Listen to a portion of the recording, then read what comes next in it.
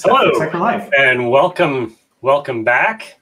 And uh, thanks for those of you that are participating in the hallway track. There's some good conversation going on there.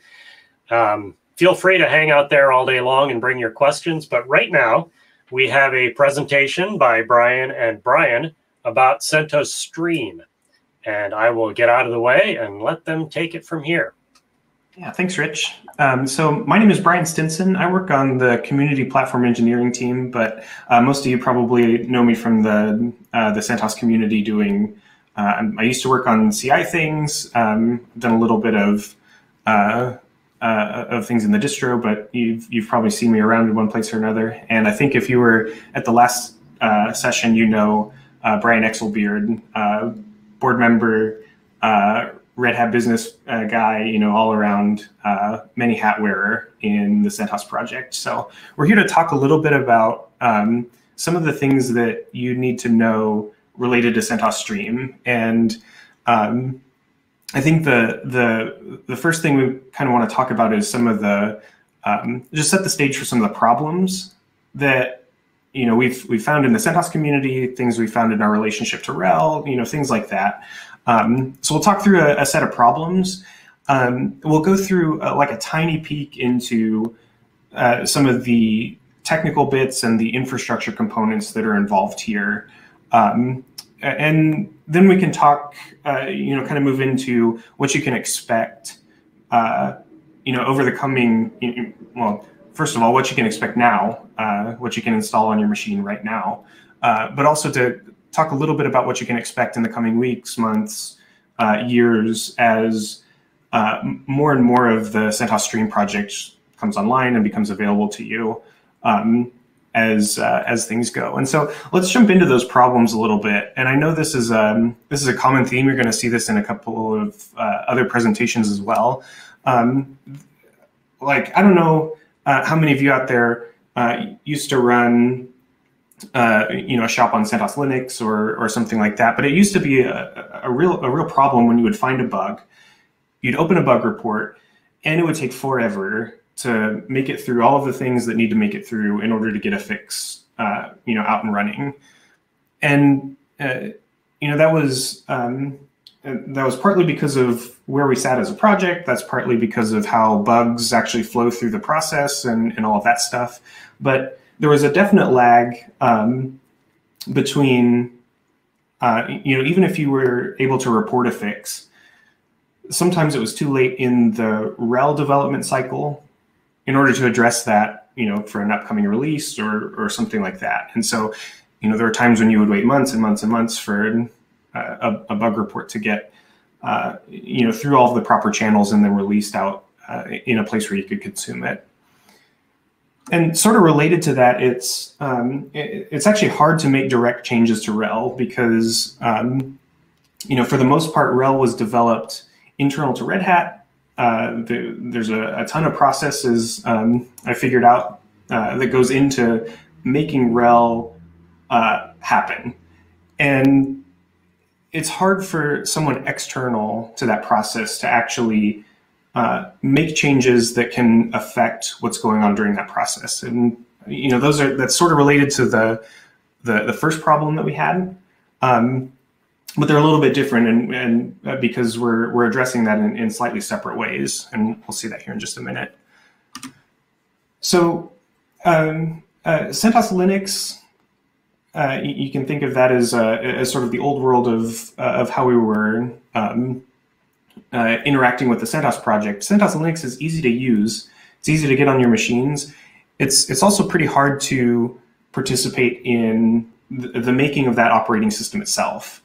Um, and that's okay. Like, you know, it's a um, it's really nice to be able to run your systems on there. But really, what we want is uh, targeted participation, both in the project. So, you know, things that you can do in the special interest groups or you know, building on top of the operating system, um, but also directed at the operating system itself.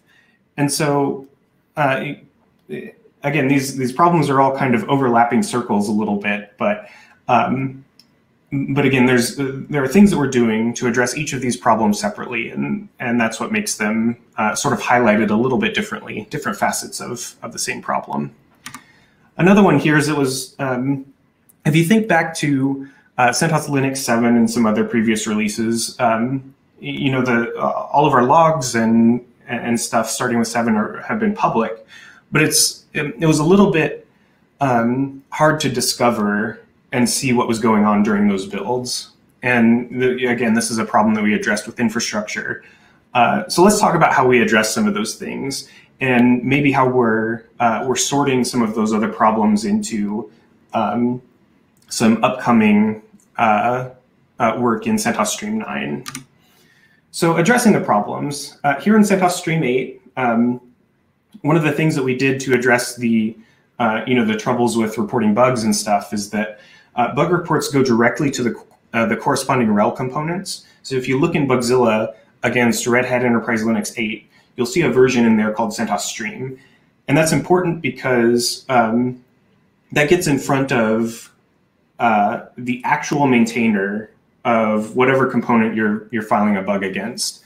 And you know, obviously, there's um, there's things about infrastructure that end up being routed to uh, to me and the folks uh, working on Stream. But if you have a problem with a package or a you know a true bug in a in a package, uh, it, it's really really useful um, uh, to basically open that directly against the RHEL component because the RHEL maintainer is ultimately the uh, the person who's going to uh, to triage that and make sure that it gets out uh, in terms of source code and stuff.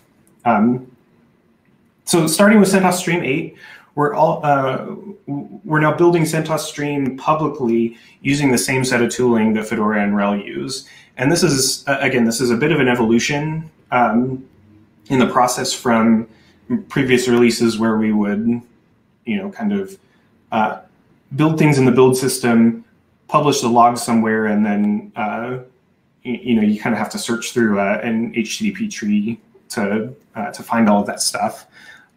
So using the same tooling um, that Fedora and RHEL use was a, a, really important component of this because uh, those tools are, you know, they've they've all got their uh, their downsides and their their hiccups and uh, their interesting deployment patterns and things like that.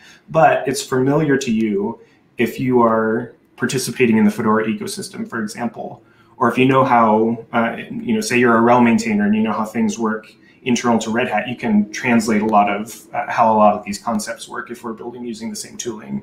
And so that was really um, that was uh, both of these these things were a lot of work. Uh, but they were really important to uh, addressing some of those problems.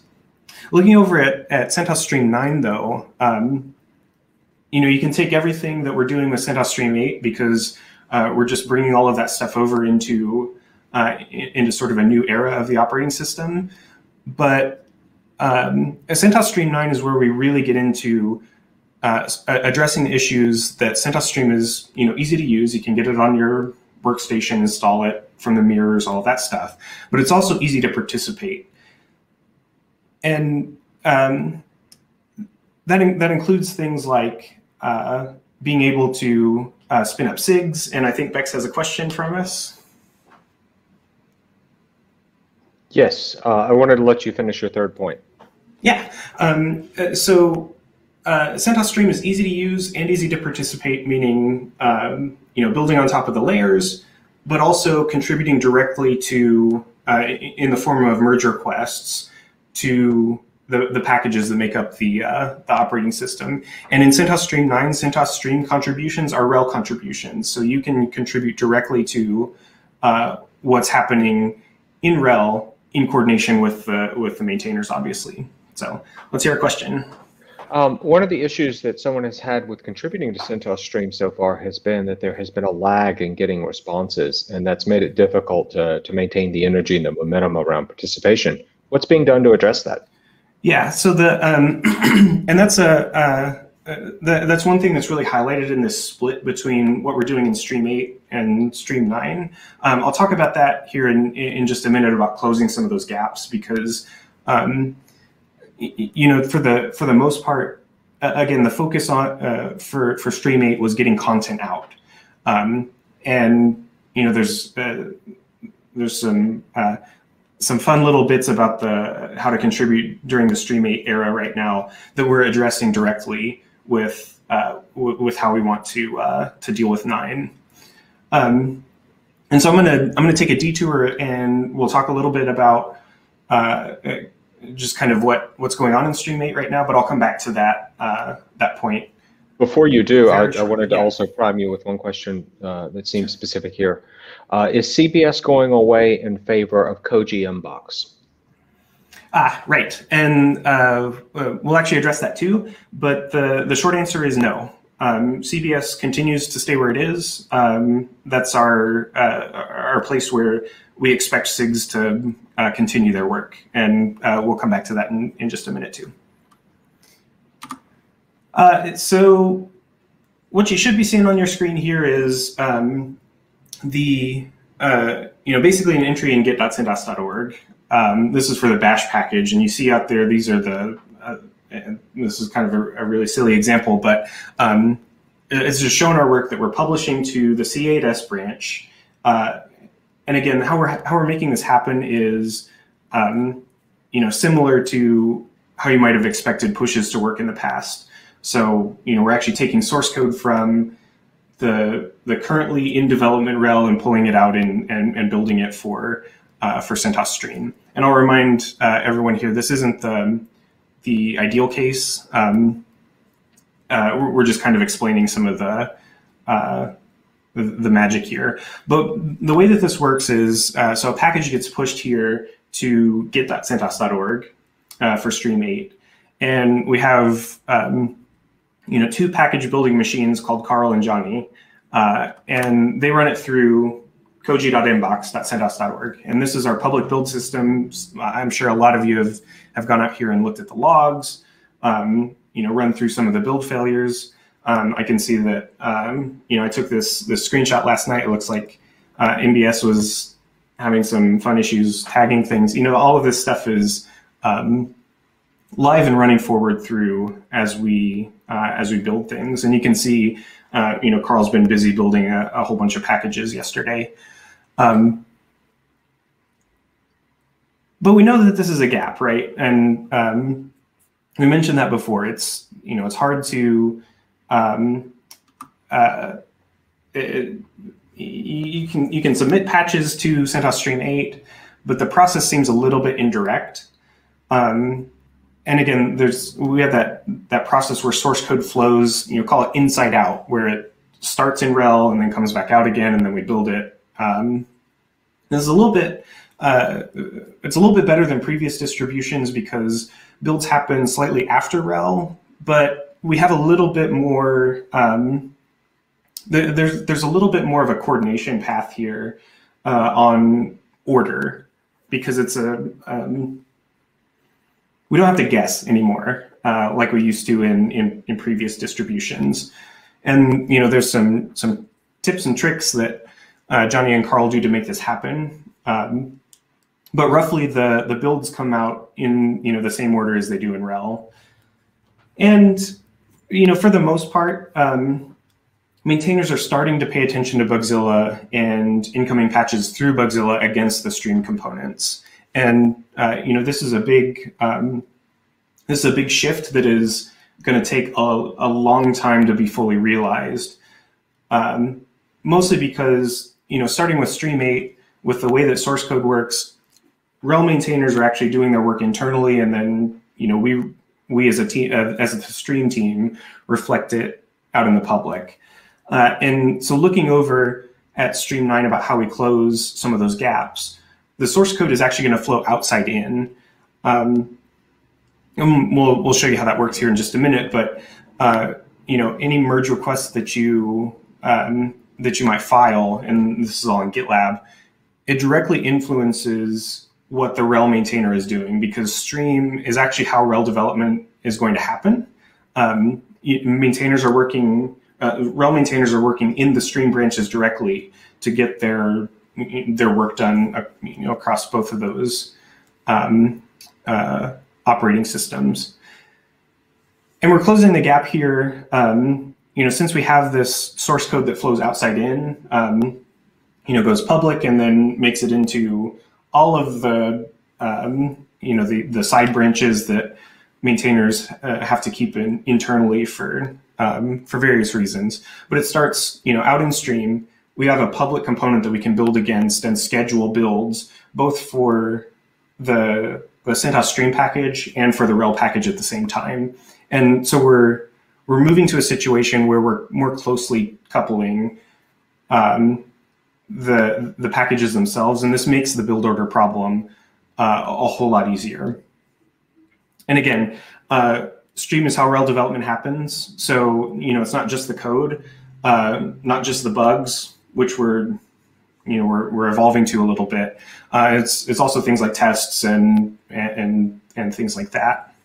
Uh, so just to show this in picture form, um, and this is uh, Alexander's put together uh, a really nice um, diagram here about how this works, and you can see sort of the you, you can think of this as a tale of two infrastructures, basically. Uh, down there on the on the bottom part, that's uh, you know everything in the red. That's that's all the activity that we have to do to uh, to get a RHEL release out. Up at the top is where um, you know you and I are actually paying attention to for the most part. This is the CentOS stream infrastructure, and you can see that a, a pull request directly affects the dist-git branches in CentOS stream, which then gets synced into uh, you know all of the RHEL process, and these things flow you know more or less in sync.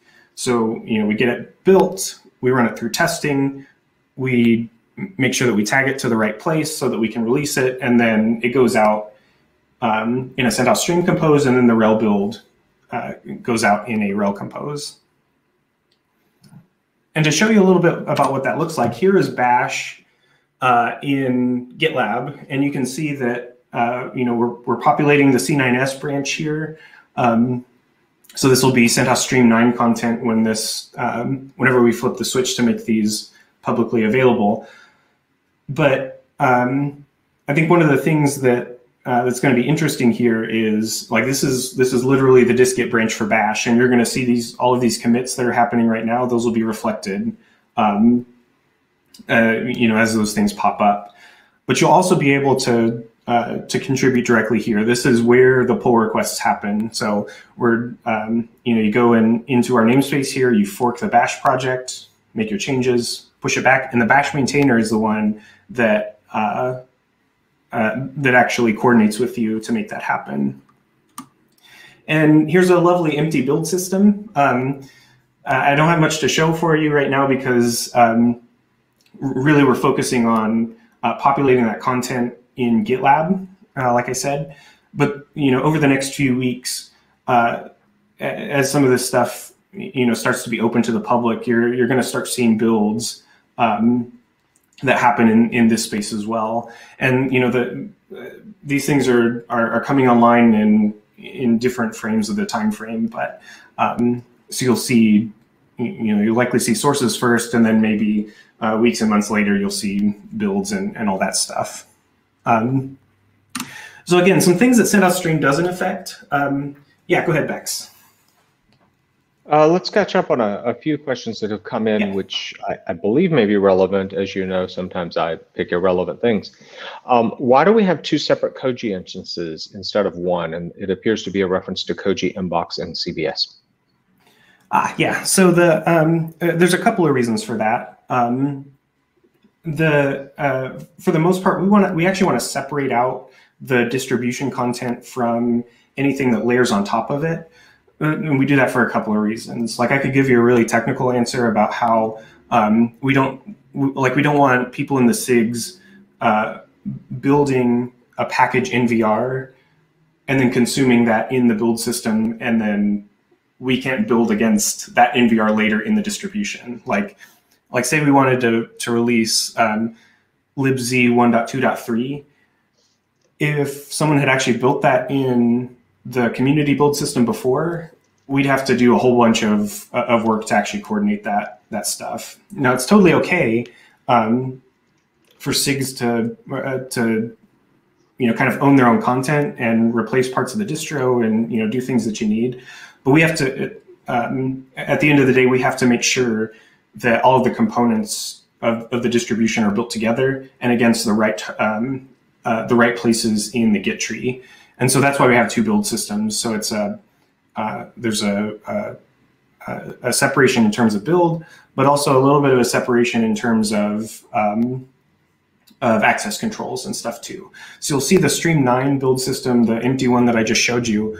Um, really, the uh, the name of the game here is to have Red Hat maintainers in control of those builds. You know, they're they're going to be the ones that merge your code. They're going to be the ones that submit this build, and then that has um, automatic effects in that RHEL pipeline.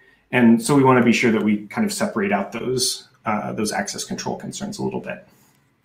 Um, continuing on that theme, uh, has there been any consideration paid to using Koji Ansible for setting this up?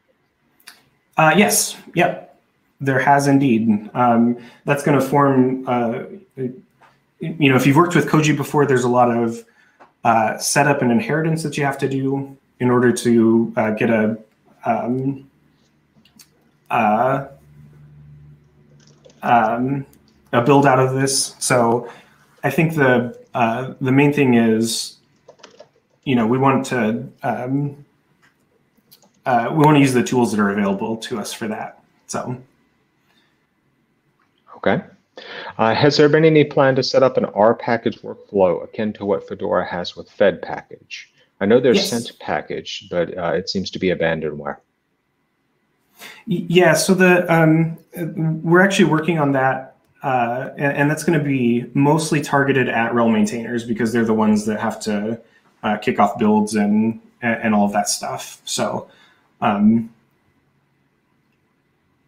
I think the uh, you know the other thing too is uh, some of those tools need to be updated for some of the SIG workflows as well. Uh, now that we have some of the the other features involved, but um, but that's the that's the plan. Okay. I have a couple more questions here. Yeah. Um, is there going to be a way for SIGs or the community to add CI jobs? You touched on CI jobs to be executed on candidate composes in CentOS Stream. Yeah, so the we're working with. Um, so I think the main uh, uh, the the main goal here is uh, you know we're starting with um, you saw that RHEL pipeline down below a couple of uh, a couple of times here. The the important thing that we want to highlight first is that um, you know there's this RHEL internal gate that uh, you know a lot of CI jobs are are, are coordinating against. Um, and you know these two interactions here are going to work against each other. Um, I think the the actual patterns of how to get your CI jobs hooked into the same system that's a, a you know a thing that we're we're sort of evolving as we go uh, because we're starting with tests that already exist. But the the idea is we want to make as much of those tests um, public as we can. And I think if you're um, if you're paying attention out in Fedora, um, you know, either in Rawhide or um, you know some other places right now, you're familiar with the package level testing that's going on. I think compose level testing is another thing that um, is well we're, we're building the pieces in order to get the distribution out and putting hooks into those processes so that we uh, have good places to hook into in the um, in the future. Um, there are three additional things uh, that I think are somewhat relevant that I'll, I'll interrupt you with if that's okay. The first yeah. one is about downloading packages directly from Koji. Is that going to remain blocked? And specifically, Open LDAP, I believe it was, was brought up as the example in the, the chatter around that.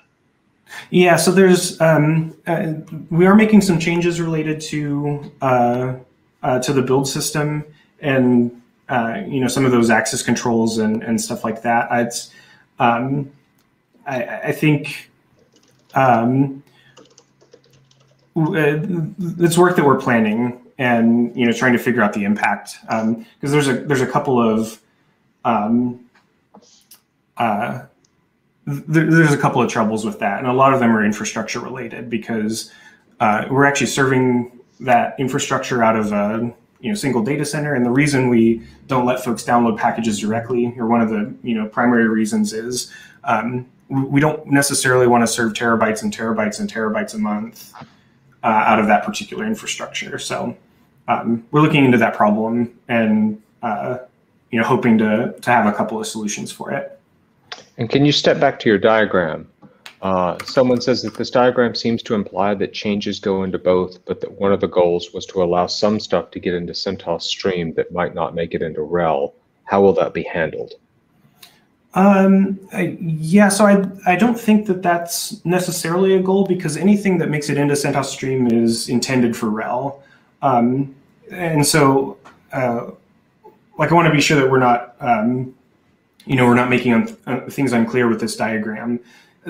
Both of these processes are development processes, and you know, so we're we're always, um, you know, internally. If you look down at the uh, at the bottom part of that that slide there, um, you know, we're always looking forward to a RHEL release, and you know, things change during that uh, that time frame and stuff. But anything that makes it in via pull request uh, or you know, uh, contributing to CentOS Stream dist-git is stuff that's intended for RHEL. Uh, and then I'm going to combine two questions that, that seem to go off in a slightly different direction, but in a real presentation in a room where people were raising their hands, like you'd get thrown this right now. So you're going to take this softball. Yeah. I know it's a hard ball. I don't know. Could be a fastball, slow ball. anyway, um, the the two questions that I'm going to pull together is that does this workflow apply to the kernel as well, or is that going to be continued to be cherry picked into Stream from somewhere? And are Docker and Kubernetes, and I'd extend this to be other software ecosystems and package sets able to compile packages for CentOS Stream? Yeah, yeah. So um, I'm actually going to take that last one first. Uh, so you know, Docker, Kubernetes, um, uh, you know, anything that needs to build against the distribution is always welcome in a SIG. Um, I, I, think the, you know, we've got some um, some interesting conversations to have about what content actually forms RHEL as a thing. Um, the content sets, like, or the the content of RHEL and the content of CentOS Stream as distributions are um, uh, are, are, are likely the same. Like they're they're meant to be the same. And so, you know, anything that's extra that needs to build against the distribution, that definitely is a, a perfect candidate for uh, building it in a SIG. And you can, um, I've got some uh, some things about this later, but you have build roots in CBS against CentOS Stream 8. We expect the same for CentOS Stream 9 when that's available. So uh, absolutely go build those against um, against CentOS Stream and then release it out using the SIG process. Um, There's one more in that, of, that feels very relevant for here, but please yeah. Yeah, so in terms of the kernel, um, I know there's a lot of work going on, uh, you know, related to how the uh, the kernel is being developed and you know what you're going to see related to that. I think the uh, I can say that the process is going to look very different from what we have right now uh, and what you might be seeing in CentOS Stream 8. So, um, I, yeah, I don't have any specific announcements or anything, but uh, definitely be paying attention because uh, you know the kernel is an important part of the the work that we're doing here. Uh, it got asked currently yum builddep dollar package can't be used on stream because SRPMs are not propagated anywhere. Is this going to be addressed? Yes. So I actually have slides about this. Uh, okay. So I've, I've, got a few bullets, and we'll get to them when we get there.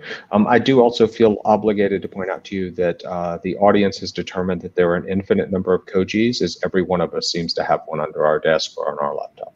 Yeah, but, that that sounds about right. Um, so might as well. Um,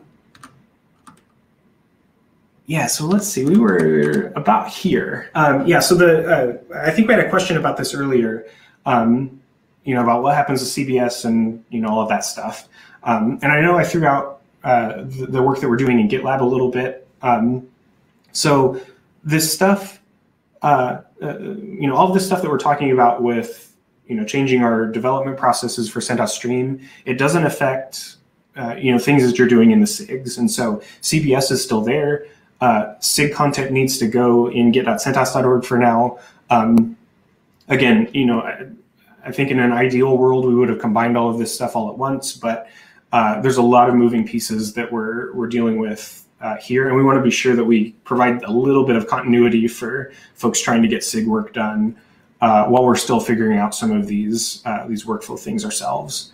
Um, so the, those two bullet points are, are important. Uh, if you're in a SIG, keep doing your stuff in CBS the way you have been doing. And if you're uh, interested in uh, putting content in Git, uh, you know, hosted for you, git.centos.org is the, the place for that.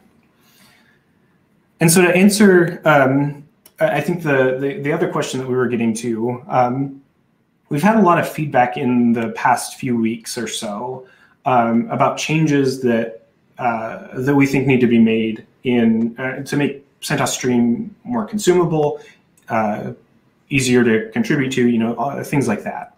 Um, and so this is not a comprehensive list. I know, uh, you know, Bex has uh, has heard a lot of. Um, uh, I'm sure he's he's heard a lot of features that you all have presented to him. I've heard a lot of features that you've presented to, to him. And we'll talk a little bit about the process for making that um, those features known to everyone. But uh, here are some things that we've we've gathered so far. Um, we know that we want to make it easy to build uh, kernels and kernel modules in a SIG itself.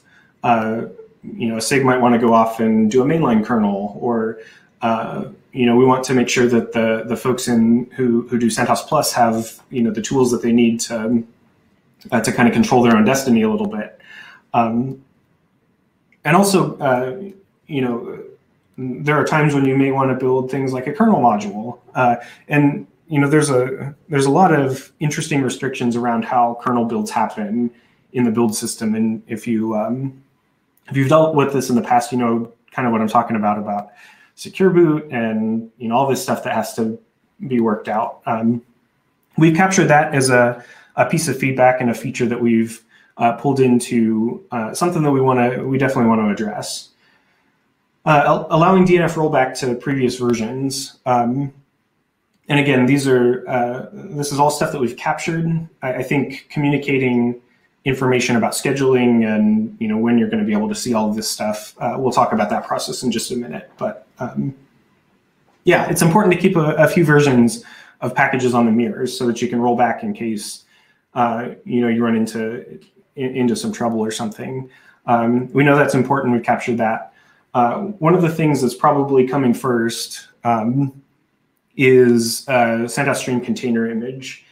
Um, and again, we're working out some uh, some logistics around that with in terms of uh, like policy on the Docker Hub and you know all that fun stuff. Um, but we've actually uh, you know we've built this in a, a place or two, and we think we're ready to uh, to actually put this out. We want to handle build root only packages differently. Um, and this, this kind of dovetails into, um, you know, the question that was asked earlier about, uh, I think it was Open LDAP or, you know, downloading things from uh, the build system itself. Uh, that's not the, that's not the only thing that we want to do to, to address this problem, but we've, we've got a little bit of work to do. Um, and, and this is, you know, not technical work by any means, is policy work and uh, making sure that we have uh, you know things lined out in the right uh, the right fashion to deliver this on a regular basis and to make it a sustainable delivery model. Um, but those details are, are, coming related to this. We've captured this as one of our uh, pieces of feedback. And source RPMs and debug infos uh, should be first-class citizens on delivery, and that's I think that addresses the uh, the last question that we have. Um, I think the uh, we want to be flexible about um, you know putting those in the right place, but also uh, you know making sure that uh, you know we keep things like the uh, the yum configs up to date so that they point you know if, if we end up shuffling around directory structures and, and stuff like that, um, we want to make sure that that is in a good spot. And so how do we plan to handle all of this stuff? Uh, and so these are just a, a, few examples of things that people have asked for. How do we plan to handle this feedback?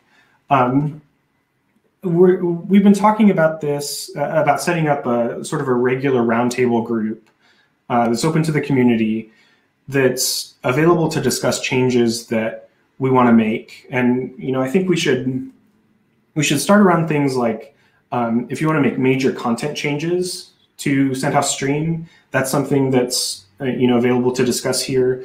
If we want new types of infrastructure, um, you know new and weird artifact types. Um, you know, I'm thinking you know something interesting would be like, why don't we uh, produce a live image? You know, that that's the sort of thing that we would discuss here and figure out how to um, how to route it to the right place. Because you know, sometimes to be honest, this group will you know will absolutely say no.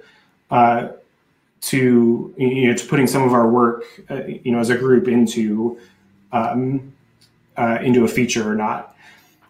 More likely, uh, you know, I, I, think the the the default case for for a lot of these suggestions are going to be that work probably belongs in a SIG because um, you can do a lot of uh, a lot of cool and interesting things even now uh, in, in a SIG and and make sure that you get the, the content that you need. But other times, you know, the suggestions that that you have might make sense for RHEL too, and this group is responsible for, um, you know, discussing it, but also getting together with Bex and some other folks to see if this is a, a you know a change that we we should make both for RHEL and and CentOS Stream, and so that's a uh, that's a really important part of this uh, this process here. And I've only got a few more minutes left, so I want to talk about um, expectations. And so, uh, you know, I think the we're in a pretty good spot related to um, things like being able to download CentOS Stream, run it on your workstation, all of that stuff. But I think you can expect uh, you, you, can expect to see that push that we're making. That CentOS Stream bugs are treated like RHEL bugs, and that means you know, dealing with, um, you know, dealing directly with RHEL maintainers against the components that, you know, whatever uh, you have trouble with. You can have, you can totally have CentOS Stream 8 buildroots in CBS. I know a few SIGs have actually taken, um, uh, taken advantage of this already. Uh, it's important to keep going with that and uh, trying things against uh, CentOS Stream 8 and then preparing for uh, Stream 9 buildroots uh, as they go. And again, just a reminder about expectations, CentOS Stream is continuously moving forward. And so uh, you'll continue to see content. There's, you know, again, no releases, no uh, points in time on the mirrors or, or anything like that. We've um, we've got composes.centos.org if you need to uh, to sort of look back in history. But um, but CentOS Stream 8 is going to continuously move forward. Uh, and then when CentOS Stream 9 comes along the line, it's going to continuously move forward in that, uh, in that life cycle as well. Uh, and so just a, a, call out to developers. Um, if you're wanting to influence uh, RHEL or CentOS Stream 9 right now, that work is happening in Fedora. Um, and I know there's some um, uh, some branch dates and all of that fun stuff uh, related to Rawhide and Fedora 34 and all that stuff. Pay attention over there because that's where the work is happening. Uh, and I'm going to pause for a question. Cool. I wanted to let you get through that, but you were calling out to developers, uh, taking questions out of order. Is there a set of expectations or ETA around the move to GitLab? Ah, yeah. So the um, the and uh, I'll, I'll, cover this in a couple of other slides. We don't have a um, uh, we don't have a clear cutoff date or a clear go live date for uh, that we're publishing here. A lot of this is has to do with um, workflow changes that we're making internal to Red Hat, um, and that's that's basically the deal. Um, I think you saw earlier the uh, the example that I uh, that I posted, all of that content is being preceded into that environment, but that's not the live uh, set of content that we're building against for CentOS Stream yet. Um, and so we'll see that here uh, in, in, just a couple of slides in, in terms of expectations. Um, uh, do we have other other questions or? You're about to answer it. Gotcha. Uh, so what you can expect expect on the order of weeks. Again, we're hoping to, uh, and uh, I'm giving general timeframes here because um, you know we need the, the, the flex time in order to make this happen uh, and, and, coordinate things here. But um, on the order of weeks, you know, a handful of weeks, uh, you know, a dozen weeks, something like that. we want a public view of CentOS Stream 9 kernel workflows on GitLab. Uh, and we're hoping to give you a public view of the Stream9 dist-git repositories. That was the thing that we we just talked about there. Um, and again, on the on the shorter end of this, uh, we're expecting you to see a published CentOS Stream 8 container. And for the months, um, you know, for the months ahead, what you can look forward to is uh, first look at that roundtable um, group for triaging feature requests. Um, we're, you know, uh, we're trying to figure out what that group looks like, how often they meet, when, you know, where do they meet, that all of those sorts of details. Um, and we want to be sure that we schedule it at, at the right uh, the right point there. Um, and uh, you know, another thing that's coming forward is the infrastructure SIG. Um, one of the places that uh, is is really good to make uh, you know non-code changes is by participating in you know just the SIG discussion, but also giving tips into uh, the the infrastructure SIG, and that that SIG is in charge of you know managing access to the different uh, properties that we have, but also uh, you know discussing some of the changes that we're making on an infrastructure level. Um, so further on, in, in, you know, in a few months, um, the that's when we're expecting open contribution, uh, those merge requests against the dist-git repos in GitLab. And uh, you know, again, a few months uh, down the road, we're looking at open contribution to the kernel workflows. And you know, Stream9 artifacts, CBS buildroots, uh, that includes things like composes and, and all of that stuff. You know, we're looking at months down the road, uh, and, and, that's uh, on this the schedule that we were uh, we were thinking about here. So, what you can expect here at the dojo. Um, uh, head over to uh, the Everyone Can Contribute to RHEL Now talk. Uh, I think Tomasz has um, some uh, some extra stuff to add, you know, similar to what we were talking about here today. But um, he'll be answer he'll be available to answer some questions about that too. Again, there's other talks about uh, the SIGs and the the layers and uh, you know some folks that are looking into building against CentOS Stream right now. And then we've got some other talks that are um, you know, talking about building different kinds of artifacts and uh, you know things that aren't necessarily happening right now in SIGs, but uh, I'm sure those are uh, those are interesting talks as well. And Bex and I will definitely be in the hallway track to answer any further questions. And we're also going to go hang out in. Uh, well, I'm going to go hang out in Tomasz's talk to uh, see how that goes. So. that's Thank what I got. All. Awesome. Did, did you want to take any more questions? We have a, a couple more minutes. Yeah, if we've got some. I've got one in the queue. Uh, oh, okay, go ahead. Can you clarify how to handle release RPMs from SIGs to support both CentOS Linux 8 through the end of this year and CentOS Stream 8? Ah, yeah. So the um, the the way that I understand the question um, is uh, so every SIG has a, um, a CentOS release package that um, uh, that they release, and then you know you install it against uh, uh in order to enable the repos and stuff. I think the uh, what I'm hearing out of that is we'd like a, a, set of guidelines for dealing with those packages, and I think that's something that we can come up with. Uh, I, I, have some um, some pretty technical suggestions, like you know, making sure that if you're building or if you want to release separate content for you know Linux and Stream, uh, make sure that you use the right yum variables. Uh, we provide yum variables that define each of those uh, uh those different um, operating systems, and so you can tell the difference a little bit. Um, but uh, yeah, I'm gonna I'm definitely gonna take that as an action that we need to uh, maybe do some some targeted documentation at that.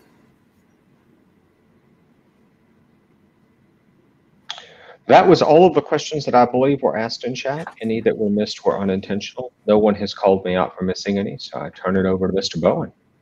All right. Thank you so much, Brian and Brian.